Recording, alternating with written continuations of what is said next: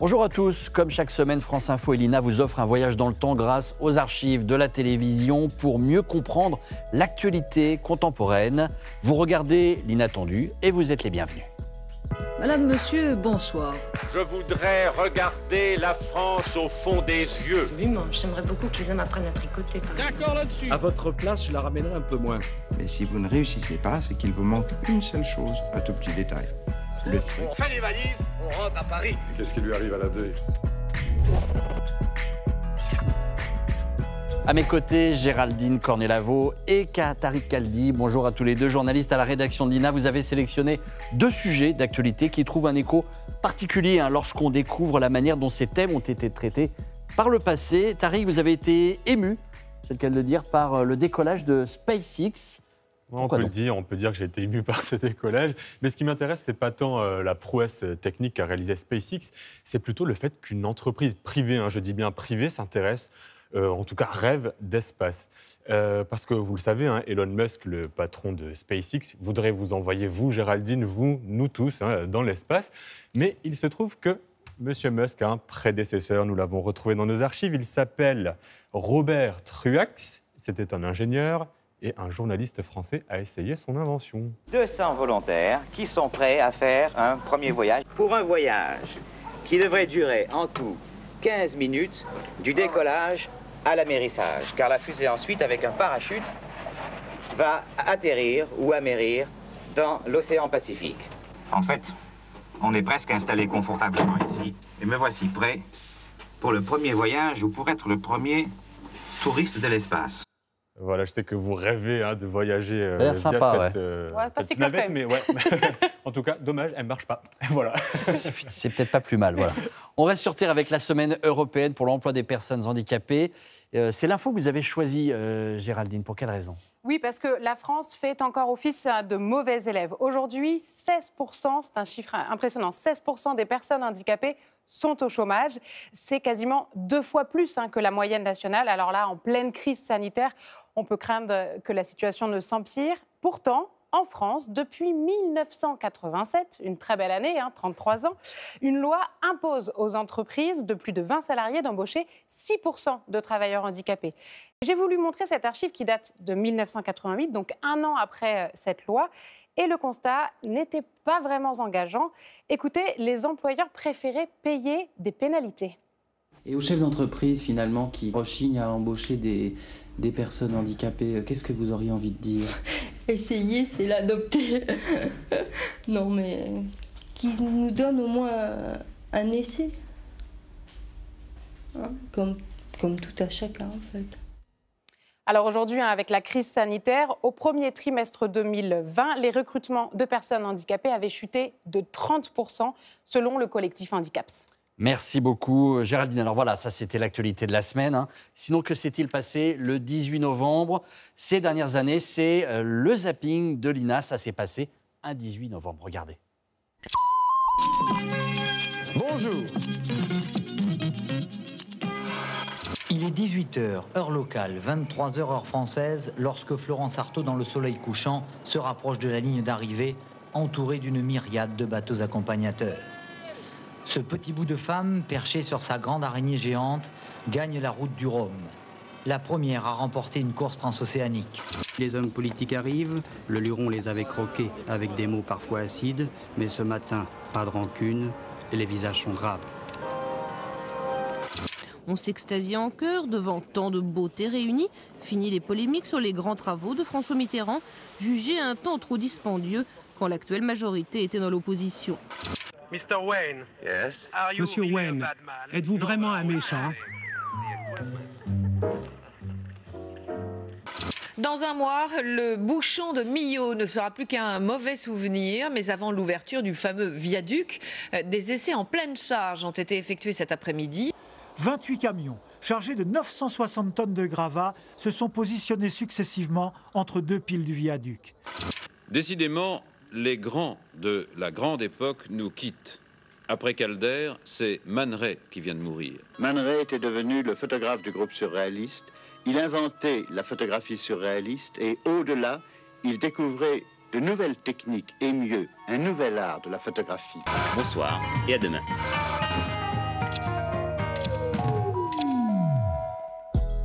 La télé peut-elle remplacer les professeurs Pendant le premier confinement, le petit écran a offert une exposition inédite à l'enseignement et au programme scolaire. La Maison Lumi, hein, notamment sur les chaînes du service public, émission qui est toujours diffusée actuellement sur France 4. Tariq La Télé qui endosse le rôle du prof, c'est pas nouveau, hein. mais à quand remonte le premier cours télévisé? Ça remonte à une soixantaine d'années exactement, 1953. Alors ce qui s'est passé à l'époque, c'est que le ministère de l'Éducation s'est dit, tiens, comment est-ce qu'on va un peu moderniser notre bonne vieille école de la République? Et la solution, c'était la télé. Bon, euh, à l'époque, même pas 1% des ménages étaient équipés, alors on regardait cette télé en classe. La télévision, considérée comme moyen d'enseignement, passe dans le domaine pratique. Dans les classes primaires commencent aujourd'hui à fonctionner trois fois par semaine des cours réguliers par télévision. C'est une innovation considérable qui vient s'ajouter aux cours par radio inaugurés l'an dernier. Cette nouveauté ne supprimera pas, bien entendu, le maître ou le professeur, dont le rôle est toujours essentiel, mais elle semble appeler à élargir dans le réel et dans la vie la portée de son enseignement on l'a vu, hein, la télé euh, se fait une place à l'écran, on lui promet un très bel avenir. Dans les années 60, ce sont 4 heures de programmes hein, qui sont diffusés euh, chaque semaine. Je rappelle qu'il n'y avait que deux chaînes à l'époque, donc euh, c'était déjà quand même pas mal pour l'époque. C'était plus facile pour changer de chaîne. C'était quand même plus facile, on avait moins à zapper, je vous le confirme. on va voir quand même une archive, Nathaniel, de voir à quoi ça ressemblait quand même. Une archive de 1965, petit cours de géométrie, vous allez tous comprendre, rien de compliqué, niveau CP, CE1 sur le cercle et le disque. On regarde. Que représente le disque Le disque représente toutes les positions que peut occuper le berger, position que la chèvre pourra atteindre. C'est bon, c'est clair pour tout le monde ici. On n'a déjà été très fort en géométrie. Ce qu'il y a de sûr, euh, Tari, c'est que ces euh, programmes ont disparu dans les années 80, mais pour mieux réapparaître un petit peu plus tard très bien. Et là, on avait bien progressé. On avait bien progressé. Il y avait beaucoup plus de couleurs, il y avait de la mise en scène. Et tout ça, c'est grâce à la chaîne du savoir, ancêtre de France 5, qui s'appelle la cinquième. Donc, je vous le dis, hein, c'était des cours beaucoup plus colorés, mis en scène. Et surtout, on pouvait les regarder en dehors des heures de classe, à la télé, à la maison. J'en ai vu une dizaine pour vous, mais mon préféré, on va le regarder tout de suite. Niveau CE1, cours d'anglais.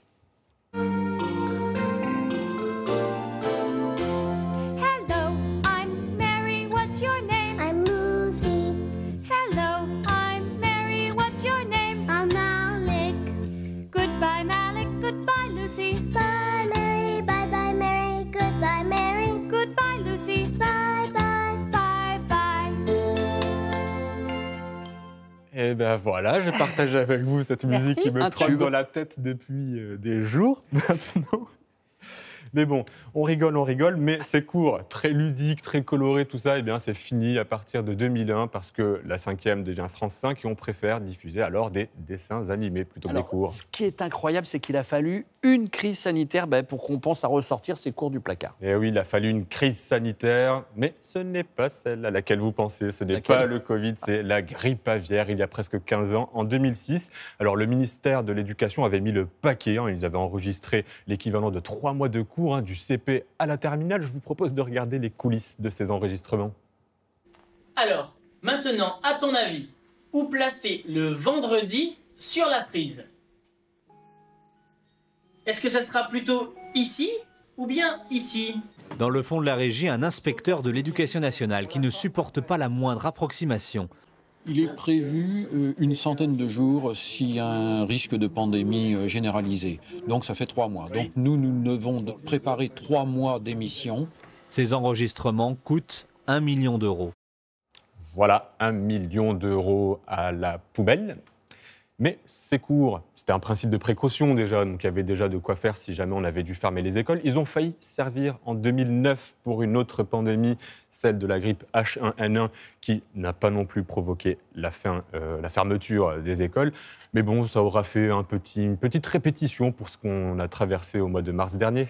Et puis, euh, on sait grâce à vous que ces cours sont disponibles sur l'INA. Hein, Exactement, la maison Lumni, nos partenaires.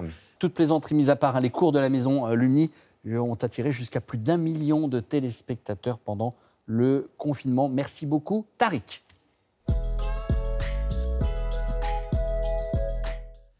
Ce soir à minuit, le Beaujolais Nouveau va enfin pouvoir être commercialisé. Un lancement habituellement synonyme de fête de convivialité. Bonjour Perico Lagas, journaliste, critique gastronomique, critique vinicole. La fête a quand même un petit goût euh, amer finalement. Euh, on va voir si le Beaujolais nouveau peut se vendre sans euh, le décorum qu'il y a autour. La fête, quoi. Alors d'abord, il tombe très bien, puisqu'on est dans une période un petit peu de morosité avec ce, confinement euh, sanitaire. Et euh, le rôle du vin, c'est d'apporter du bonheur et de la joie dans les familles. On n'est pas obligé d'être 450 pour boire un bon coup. On n'a même et je pas pense qu'il y a des moment. gens. Alors je dis, moi je dis, je lance un appel national.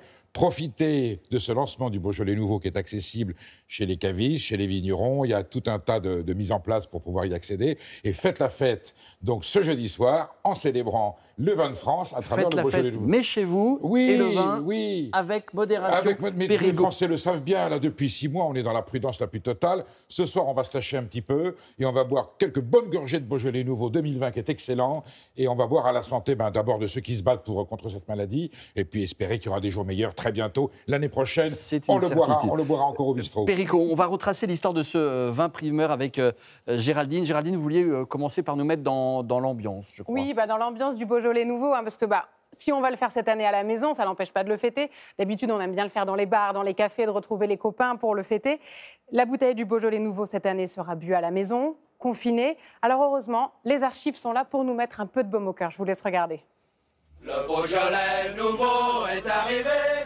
Viens par-ci, viens par-là, boire une tassée. Le Beaujolais nouveau est arrivé. Goulayant plein d'esprit, joyeux et fruité. C'est le jus le sang de notre œil. Un millésime sans Alors voilà, un Merci. millésime sans pareil, hein, vous avez la chanson dans la tête, je l'espère. Normalement, voilà, le Beaujolais nouveau, c'est ça, c'est une fête, c'est tous les copains autour du comptoir. C'est surtout le résultat, Perico, d'une immense opération marketing dans- unique dans le monde du vin. Dès 1951, les vignerons du Beaujolais obtiennent l'autorisation de vendre leur vin en primeur avant décembre. La présentation du Beaujolais nouveau est alors fixée au 15 novembre et l'opération marketing fonctionne tellement bien qu'elle est fixée par décret, je dis bien un décret, hein, à tous les troisièmes jeudis du mois de novembre à partir de 1985. Le Beaujolais nouveau, tout ce rituel de fêtes, de chansons, en fait, on a l'impression que c'est ancestral, mais ça remonte aux années 80. C'est un énorme coup marketing, n'est-ce pas? Vous avez vu l'image, c'est les 30 glorieuses dans toute leur ferveur. Alors je suis désolé Géraldine, je m'inscris totalement au faux. C'est devenu un phénomène marketing quand les voyous de la grande distribution en ont fait un produit industriel. Mais en 1951, on boit le vin nouveau depuis la nuit des temps, je vais même vous dire. C'était le, le seul vin, c'est même le seul vin que l'être humain a bu jusqu'à Pasteur, puisque c'était le vin frais qui était buvable, parce qu'il était frais, il était fruité. Et puis ensuite, avec le temps, dès que les, beaux jours arrivaient, le vin piquait, puisqu'on ne savait pas le conserver, et on buvait un vin qui était abîmé. Bon, les Romains mettaient de la résine. Le vin nouveau, c'est le vrai vin, c'est le seul vrai vin pour les amateurs de vin. On le boit dès qu'il naît au mois de novembre, à la fin des vendanges.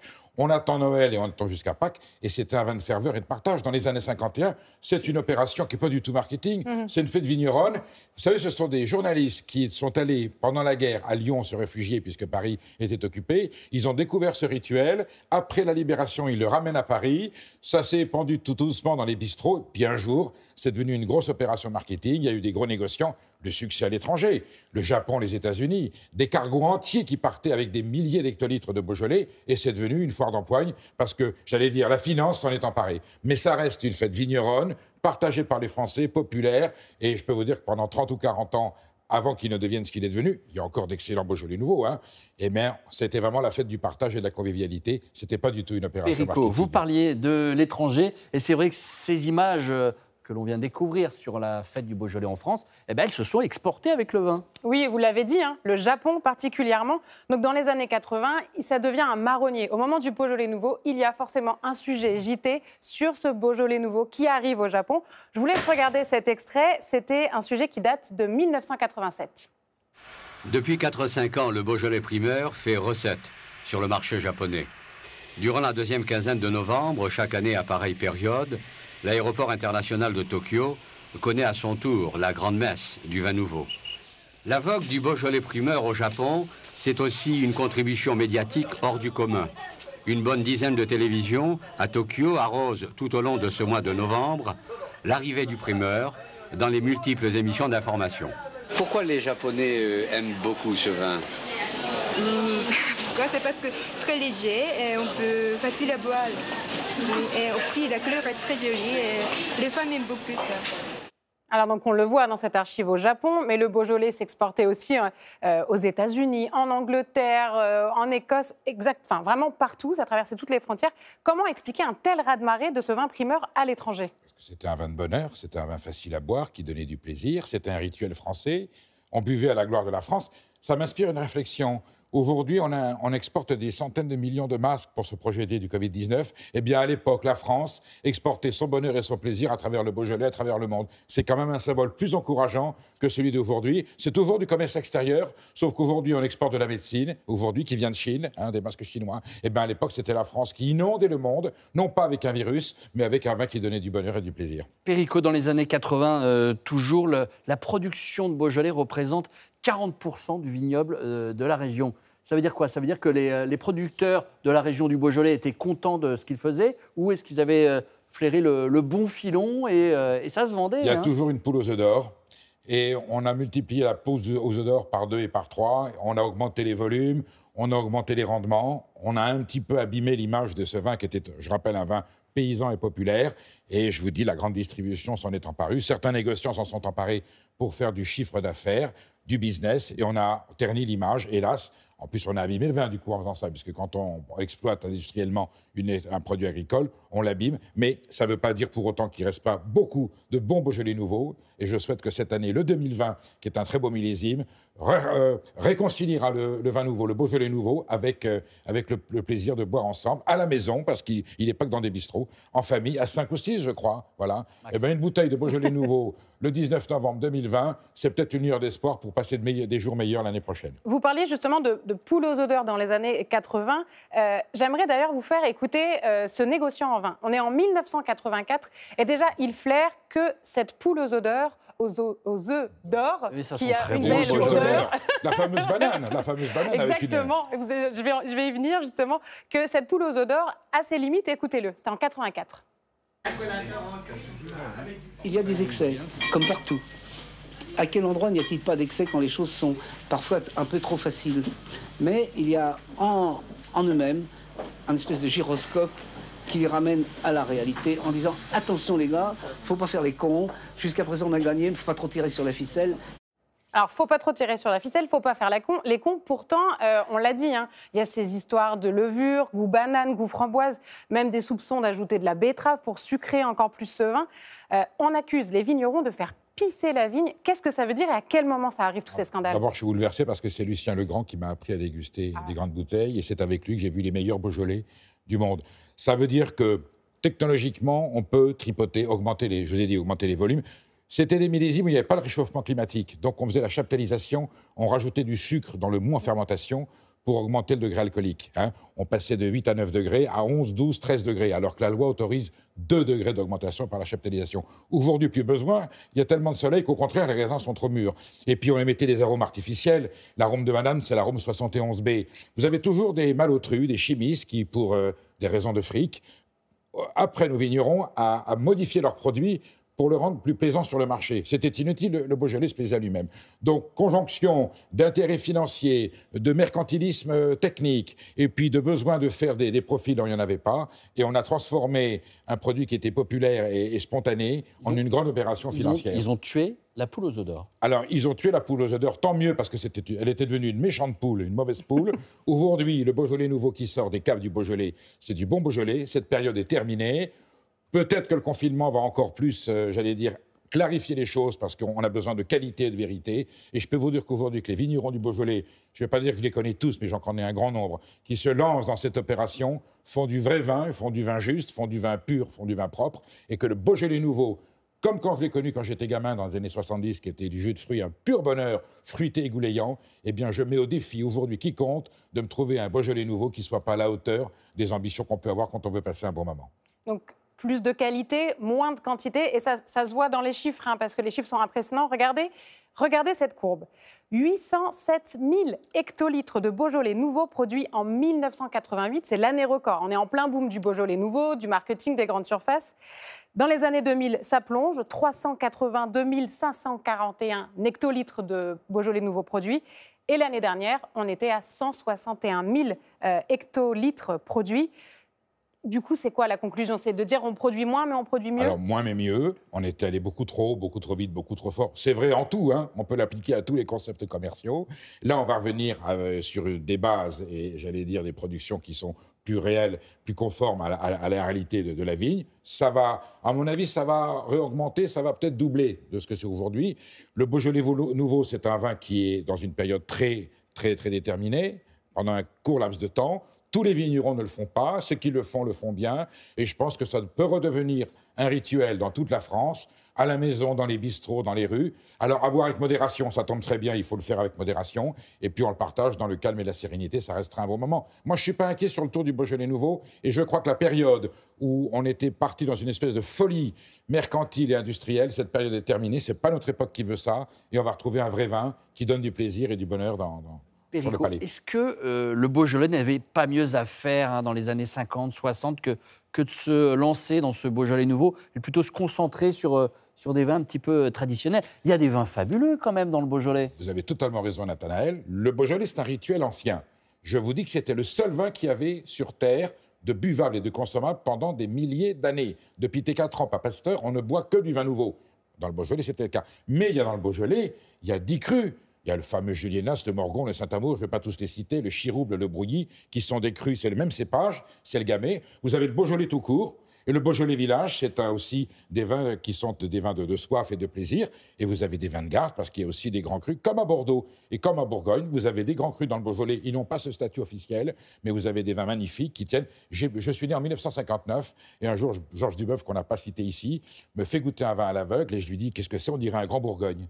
Eh bien non, c'était en 1959. Vous savez ce que c'était? C'était un Beaujolais nouveau 1959 pour prouver que c'est un vrai vin qui se garde très longtemps. Ça veut dire que le Beaujolais nouveau se garde. Donc. Le Beaujolais nouveau, contrairement à ce que son nom l'indique, puisque c'est un vin pur, et quand il est propre et pur, c'est un vin qui fait des miracles et qui peut se garder 61 ans comme la fois où je l'ai goûté euh, avec Georges Duboeuf. On, on, le voit, hein, cette, cette, image euh, des années 80 de ce vin en goût de banane, elle colle encore à l'étiquette du Beaujolais nouveau. Oui. Aujourd'hui, l'Inter-Beaujolais, d'ailleurs, communique plus sur tout ce qui est Morgon, tout ce qui est Julienas.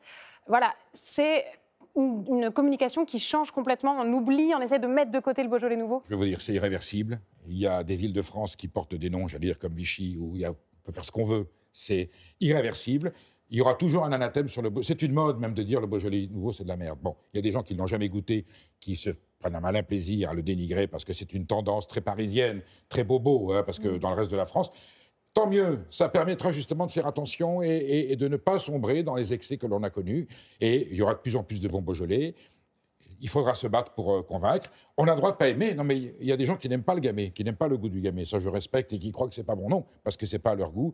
Mais cette, euh, cette mauvaise image va au contraire les a obligés à faire attention, va euh, augmenter la qualité, et ceux qui le boiront le boiront en conscience, ceux qui le produiront le produiront avec rigueur, et je crois qu'au contraire, c'est la garantie pour que le Beaujolais retrouve son identité et les instants de bonheur avec lesquels on a pu le partager autrefois, parce que c'est un vrai vin, c'est un vin simple, c'est du jus de raisin fermenté, et il n'y a pas meilleure définition pour donner, pour donner l'image d'un grand vin que celui du Beaujolais nouveau quand il est bien fait. Perico, vous qui euh, arpentez les, les routes euh, de France, euh, les vignes, euh, qu'est-ce qu'on en dit dans le Beaujolais, du Beaujolais nouveau?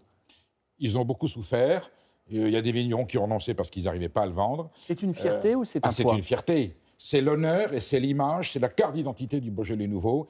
Et je suis très touché par euh, l'abnégation dont ont fait certains vignerons, alors qu'à un moment donné, euh, arrivé avec son Beaujolais nouveau à Paris, il y avait des anathèmes qui étaient terribles, et même il y avait des bars où on disait, ici Mhm. on sonore, ou des cafés, de ne pas boire cette vinasse, cette piquette de Beaujolais nouveau. Eh bien, l'abnégation de ces vignerons qui se sont battus pour défendre cette image du Beaujolais nouveau, qui, je le rappelle, est un vrai vin, me fait penser aujourd'hui aux gens qu'on se bat toujours contre quelque chose. Eh bien, on inversera cette image, et les Français comprendront un jour que il y aura toujours des mauvais Beaujolais nouveaux parce qu'il y aura toujours de mauvais vins partout. Autant, il y en a moins qu'en Bourgogne et à Bordeaux et dans le Côte-du-Rhône, des, des mauvais Beaujolais, pour des raisons de surface et de quantité.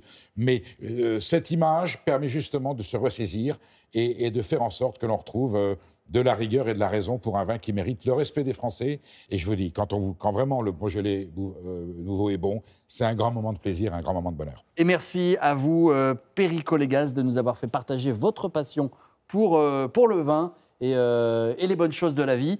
Et on vous souhaite un, un bon Beaujolais nouveau euh, confiné. Merci également Euh, à vous, Géraldine. Avant de se quitter, comme chaque semaine, notre pépite dégotée dans les archives de l'INA. Cette semaine, on vous montre comment les jeunes de 1970 imaginaient l'an 2000. Quel est pour eux le progrès le plus important à souhaiter pour l'an 2000 Les voitures seront presque toutes électriques. Je pense que le cancer sera vaincu, qu'on pourra vivre jusqu'à 100 ans, puisque les maladies sont presque toutes vaincues, donc on mourra de vieillesse. Euh, moi, je pense que c'est l'abolition de la, abolition de la guerre, de notion de guerre. La réduction du temps de travail euh, à 30 heures. Des villes meilleures où une vie sera plus agréable. Des communications euh, beaucoup plus rapides. Ce sera peut-être difficile d'être heureux avec la vie trépidante et oppressante qu'on aura à ce moment-là. Il faut plutôt penser en 3000 si on veut avoir beaucoup de changements. Voilà, l'inattendu, c'est fini pour aujourd'hui. On se retrouve mercredi prochain, 21h, canal 27, et toute la semaine sur les réseaux sociaux de France Info et de l'INA, bien sûr. Un grand merci à Hélène Dedon et Magali Vermin qui nous ont aidés à préparer cette émission. Bonne soirée.